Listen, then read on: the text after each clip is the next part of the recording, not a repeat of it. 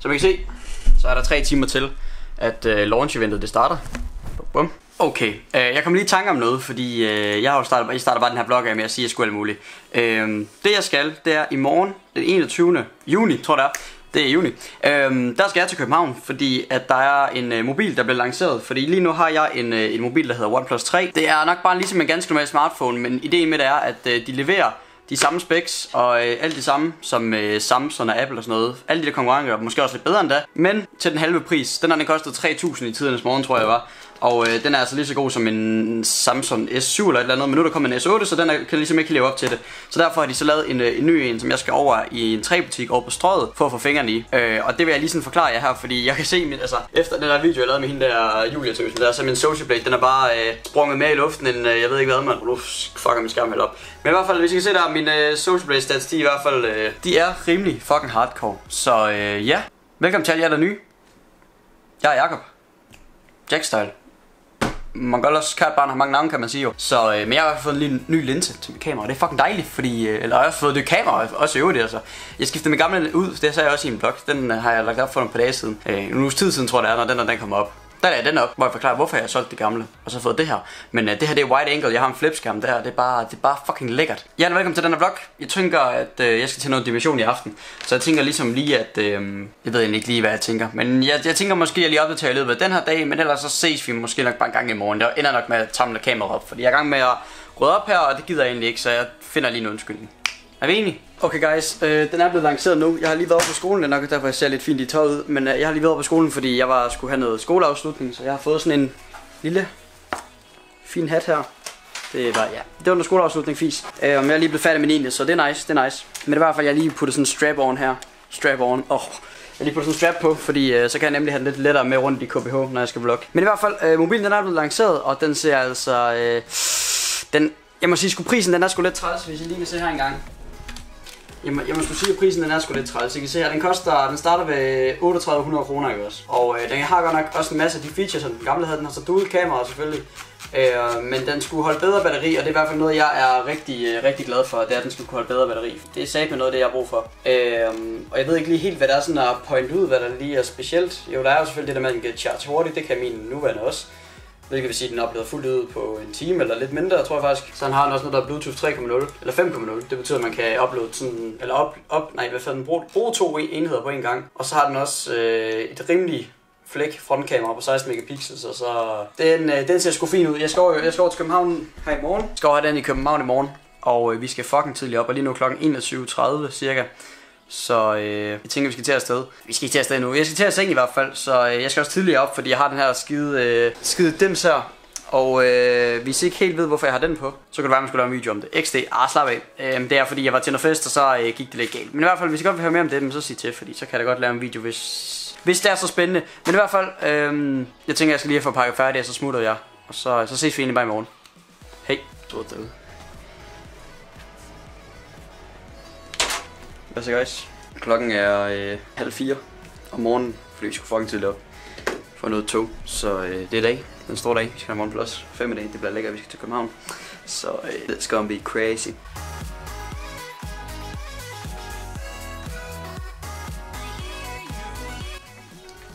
Vi har klapstol, klapstol der. Jeg har en backpack med det hele loaded. Jeg har en højtaler. Fucking klar. Er vi enige, eller hvad? Så er vi ude i den gode danske nature, that you call Denmark. Denmark. Denmark. Mm, morgenurin. Eller morgengødning. Lugter af Nordjylland. Lugter bare Nordjylland, men lugter fucking dårligt.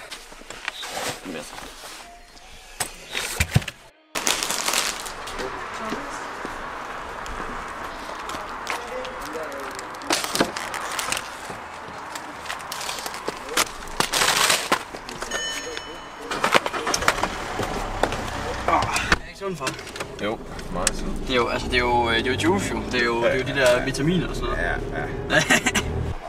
så vi var på Grønland og Tormand. Aalborg. Det er ikke en kendt by, men det er min hjemby. Tak, tak. Toget er låst, mand. Jeg kan bare stå ude og fryse tisse, mand. Der skrumper den meget. Der er bare så koldt. Det gider jeg ikke. Ja. Så fucking pack man. Packed man. XD.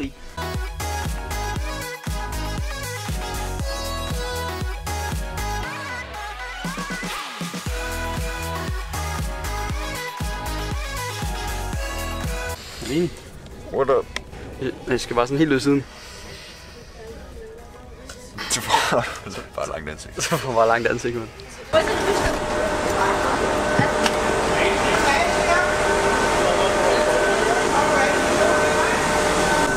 Så er vi fandme ankommet til Copenhagen.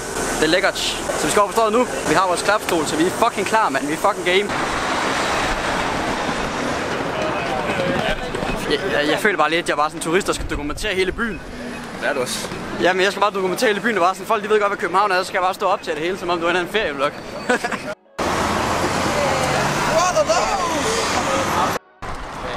er det ikke os, der?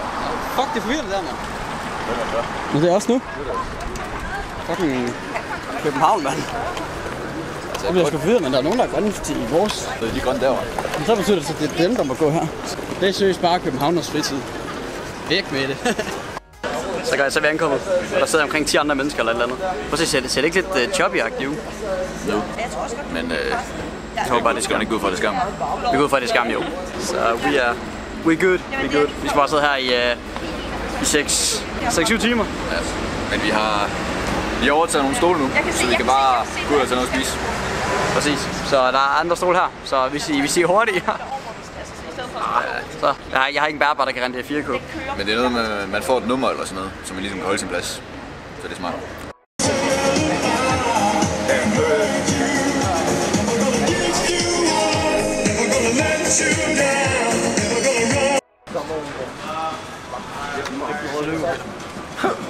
Det bliver bare skubbet væk. Så er vi kommet tilbage igen. Og vi har bare sol i hovedet nu. Så det er altså vold lækkert. Men uh, det er sgu hyggeligt. Vi skal have noget mad på et eller andet tidspunkt. Og vi tænker, at det bliver KFC. Ja, vi, vi, overvejer, vi, overvejer lidt KFC, men det, der er også et stykke dernede. Altså en kilometer eller et eller andet cirka. Og vi sidder stadig og venter. Klokken den er halv 12. Så vi stadig ikke fået noget æde. Så bare dakker. Og den her, den bliver seriøst træls af på, for det fuck, man sveder i den. Der er, jeg ved ikke, hvor, varmt er den lige nu, sådan 23 grader. 24-25 grader. Ja, det er rigtigt. Og selvfølgelig lige en tak med at varme, fordi der er sol på, så øh, der er 18 grader. 18 grader. Men der er så fuldstændig vindstille, så vi sidder bare og bager. Ja, præcis. Så har vi årets Mod Vilio Dilio, der også lige er mødt op. Så øh, det var lækkert. Min storebror er i gang med at hente noget Burger King til ham og mig. Så øh, vi, vi var ved at blive lidt sultne. Det er status. Klokken er snart 12, så gået 10 minutter siden sidst. Så har vi øh, lige fået noget af frået. Så er det lækkert. Sådan en lille sådan, lige Burger King sellout, 45 kroner for en menu. Ikke helt lovligt, ikke helt lovligt. Men vi har fået kønummer. Så Peter her, han bliver den 11. der får en OnePlus. Det er rigtigt. Og jeg bliver den 12. Feels good, man. Så har vi Mike Wazowski. Det er mig, ikke? Estimentum Sensation. Vi skal lige, der, lige der kommer en bil, så skubber vi ham lige ud. Ja, så er jeg ikke lige pludselig Estimentum fængen med. Så kommer der BT. Ja, er nok. Så, bliver jeg, så, så kommer jeg i avisen. Okay, hvad hedder det? Altså nogle gange så sidder man her i køen og bliver sulten, ikke også? Og så er der nogen her i køen, der har fået den fucking geniale idé, at de bare skulle bestille en pizza. Så han er bare... øh, Så det, så det de gør, det er, at de bestiller en pizza, og så kommer de bare kørende. Ja. Så kommer de bare kørende der forbi. Det er fucking smart. Altså, jeg er fan. Ja. Så kommer pizzamanden bare, så kommer de på pizza, så kan man bare sidde her og bare sidde og spise, og så bare ikke lave en skid. Så råber han bare pizza! Kommer de bare løbende med den der fucking motor. Ja, det er mig. Jeg har ikke bestilt, men... Øh, Hvor meget vil du gerne dø? Jeg vil rigtig gerne dø rigtig meget, så jeg sidder sådan halvt ude på vejen, for i håb om, at jeg lige pludselig falder og dør. Det skal bare ligne et uheld. Det er bare ok, man. Harrison, the Hey. Jeg har, øh, jeg har overtaget øh, Jack Stars kamera. Jeg er lige nu blevet vlogger for ham. Så øh, jeg tænkte, at øh, imens øh, jeg var vlogger her, øh, så vil jeg lige sige øh, skud til øh, Hestementum. Optog der. Nå, hun var bare i baggrunden. Jeg sad bare her og gav shoutout til Hestementum imens. Har du lige lavet en OnePlus 5 dag? Nå, svæv. One Plus er jo. Det? Svæv. Det er jo er det? Nå jo, det tænker jeg lidt. Altså, med mindre, med mindre du fester ind med telefonen, så altså... Hvis der man tager de pander, så gør sådan her, man sådan bare ekstra sygt, man. Det er den i forvejen, men mit navn det er fucking Megamind. Altså, Det er fordi, hvis du er sådan helt ude i siden af den, fordi den er så hvidvinklet, så bliver din... Så skal man gøre det med din pande også. holy fuck. så bliver det bare sådan, så bliver det bare sådan en landevej.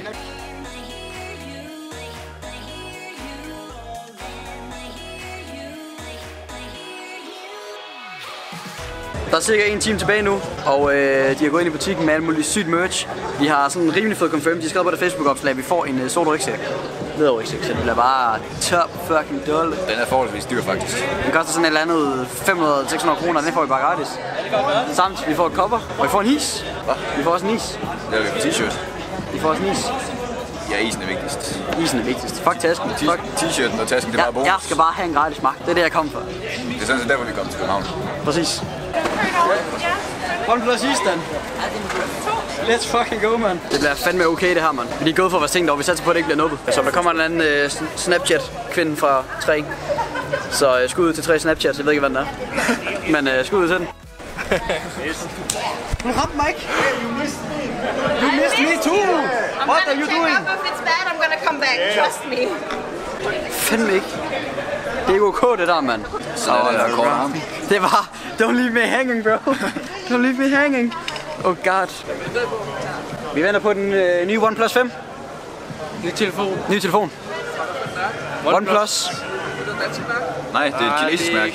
Det er kinesisk, men øh, det er godt, fordi det er billigt. Det er en smartphone, der, der er lige så god som en S8, men den koster øh, det halve cirka. Den er lige så god. Det der, det der er inde i den, det, er lige, det svarer til det, der er inde i den der også. Ikke nu. Øh, nej, men der, der, det er, der er rigtig mange øh, anmeldelser af den online lige nu. 3800 for 64 GB. Øh, Det, altså, du, når, når, de får lager, når de får lager igen, så kan du købe den. No problemo. Det er TV2. Ja. Så øh, det ved jeg sgu ikke, hvad er. OnePlus Certified Guy. Not the Red Bull one. Det har Apple og Samsung ikke råd til. Det er fandme bladet der. Jeg, jeg har set alle videoerne i London og i Paris og alle de der store steder. Der har ikke været noget i Danmark. Jo, der var noget i Danmark sidste år, men der var ikke noget med det her. Jamen, der har ikke været, der har ikke været, Der har- der har ikke været et launch Der har ikke været et launch event. Der har ikke været noget stort. Nej, fordi OnePlus 3 T den kom. Sådan, det, er jo, ikke- det, det er jo ikke noget nyt jo, som sådan. Så, Det er øh, jo ikke et stort event. men det er fedt, det er fedt. Men det her det er altså next level. OnePlus Is. Det blev bare leveret til døren, altså. Det er fucking lækkert. Jeg klarer sig ikke, mand. Og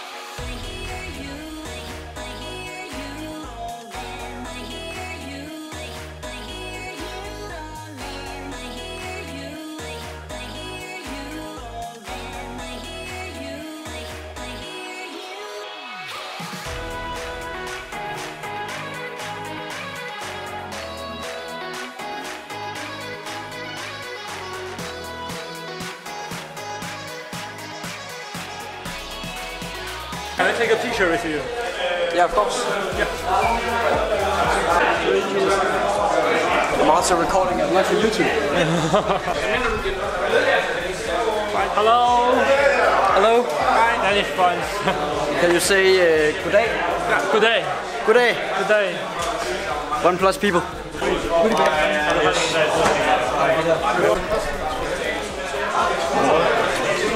Det er den første, der velkommen.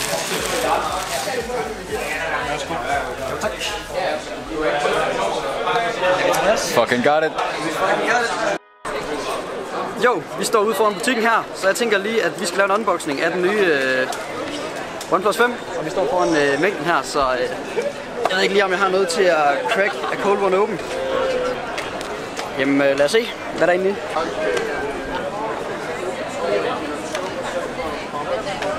Right there. Straight from China, boys. Straight from China. Det er svært, fordi jeg tror ikke, vi skal prøve at sætte den op i hånden. For. Her er den nye Look at that shit. OnePlus 5. Hvordan ser farven ud? Det er, det er jo ikke det er helt sort. Det er ikke en helt sort nej, så den er lidt, er øh, også lidt lille i det. lidt kirsebæragtig ja, i det. Det er en NFC-sensor, jeg siger. Good to know. Jamen lad os power den op. Se om der er juice i den, som man siger. Powered by Android. Lots of juice. Lots of juice. It's running uh, Android uh, Nugget. Så uh, Shout out to the Nugget Boys. jeg enig. Jeg tænker lige, vi laver en nærmere unboxing på den, når jeg engang er hjemme. Så, øh, så er vi på vej hjem, på vej ned ad strøget her. Og øh, vi er godt tilfredse, er vi ikke, Peter? Jo. Fået fucking mange goodies. Der er sikkert for lige omkring 1000 kroner, tror jeg. De goodies. Jeg tror, at tasken og så coveret, det er jo sådan 800 kroner cirka. Og så trøjen 200 kroner også. Det skal nok passe. Det er da den- 1000, 1000 kroner i goodies, bare som bonus, fordi vi mødte tidligt op. That's pretty good. Hey. hey. Så er vi havnet i øh, onkel Thomas' bil. With Kasper, der lige godt vil medvirke. Morale, hvad så? Så øh, vi er på vej ind til min øh, farmor, hvor vi skal have noget mamse, og så kan vi rigtig lege med mobilen, så det bliver meget, meget, meget lækkert. Så øh, Det håber vi. Hun plejer at lave lækker mad i hvert fald. der må jeg melde mig enig.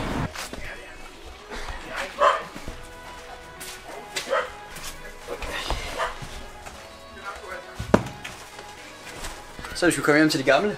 Ikke også, Kasper? Yes. Det er lækkert. Så øh, vi skal bare i gang med at teste mobilen. Så jeg skal bare lige hilse på dem først og sådan noget. Men så, så går vi lige i gang med det, så jeg vender lige tilbage om lidt. Rigtige træer, der er jo nogen, der er kevlar og sådan forskellige ting. Jeg vil bare have det sådan mest beskyttende. Så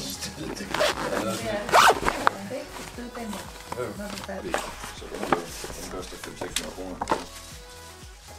Ja, ja. Den er Nice device. pretty spicy.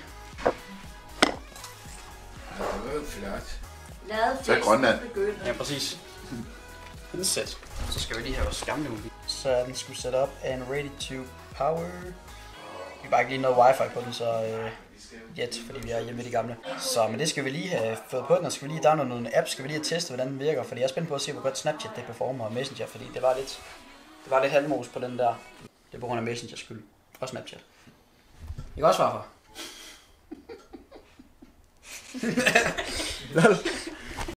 Kasper, vil du gerne have sådan en mobil der? Ja. Så skal du bare bruge den danske metode. Hvad, hvad synes du, Peter? Den er, den er crisp, den er hurtig. Den er bare ok. Specielt når man, Hvad- kom, når man kommer fra en, øh, Kunne du ikke godt overleve med den der i et års tid mere? når man kommer fra en OnePlus 2, som jo kørte på den lidt øh, toasty Snapdragon 810, så er den hurtig, den er. Sådan bare ok, man. Okay guys, jeg har lavet med min mobil i godt en time til to nu, og jeg har også fået logget ind på Snapchat og øh, alt det fisk der. Og Snapchat ikke også. Det kører bare godt. Det gjorde det ikke så helt på den gamle. Der var jeg lidt utilfreds med det, der hakkede lidt, men det kører sat med godt her på. Lige nu i hvert fald. Facebook, det kører sgu også fint. Hvis I kan se her, teksten er på, det kan jeg nok ikke se. Men i det hele taget, tingene er på, de er sådan meget mindre i forhold til, hvad det var før. Det kan godt være, fordi det var nogle indstillinger, jeg har lavet mærkeligt. Men øh, sådan, det hele det er lidt meget mindre. Du, du kan se lidt mere. Samt, hvis I lige skal se noget sejt, ikke også, så kan man faktisk gøre det her. Øh, så gør vi sådan her. Og så kan man gøre sådan der, så trykker man på den. Og så tager den en screenshot hele vejen ned, indtil man faktisk trykker stop. Og bum. Så har den gemt et screenshot, der er lige så langt. Så hvis nu for eksempel man lige øh, man skal screenshot en samtale, man har en eller anden ven på Messenger, og man lige skal sende det videre, fordi man bare er en bøv. XD. Så kan man bare gøre det her.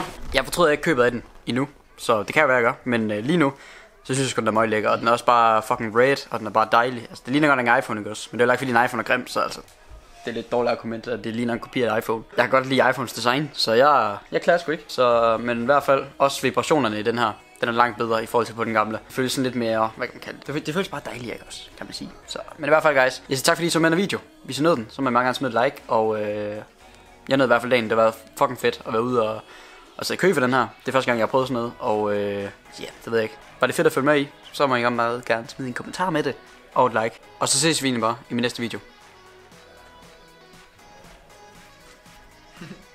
One plus. Skal vi lige uh, dækslap? Oh. Batterilevetiden, lige inden vi slutter af. Vi sluttede faktisk af i går, men lad os... Batterilevetiden. Hvad... Den er, den er acceptabel. Lidt mere end acceptabel, vil jeg sige. Jeg tror, vi sad, eller vi lader den op i selvfølgelig i, i nat. Så er den selvfølgelig 100%, så tog vi den ud af stikkontakten. Så tror jeg, sad i, i den en time, og så var den nede på 90% eller et eller andet kun. Min gamle, min gamle OnePlus 2, der, den kunne få 3-4 timer screen on time, sådan i gennemsnit. Jeg har to timer her på nu, og jeg er på 4%, 80% strøm, så det var... Og min gamle mobil, den kunne også godt sådan efter en skoledag, så sådan trækker jeg den ud i klokken 7 om morgenen. Og så hvis jeg brugte den i løbet af dagen, så kunne den sagtens være død sådan klokken 13-14 stykker eller et eller andet. Nu har jeg så godt nok det der dash chart, så det var ikke så slemt igen, hvis man nu havde lavet med, men stadigvæk at den kan holde strøm så godt. Det er lækkert, men det skal nok lige siges, at det bliver nok dårligere med tiden jo. Fordi det gjorde det med den der OnePlus 3, synes jeg. Og det kan også godt være, at det bliver dårligere med tiden, fordi der er det der dash charge i. Men øh, det får vi at se. Så de godt vil høre mere om den her. Så øh, Twister TV, skrøster Jackstyle. Der styrer jeg an, og øh, der kan jeg spørge om en måneds tid, to måneder, tre måneder, fire måneder, om hvor lort den er. Der er link nedenunder til det hele. Instagram, Snapchat, hele lortet. At mig, hvis I gider. At mig, hvis I ikke gider. Hvis I gider, så er det nice. Hvis I ikke gider, så er det ikke så nice. Så vi ses.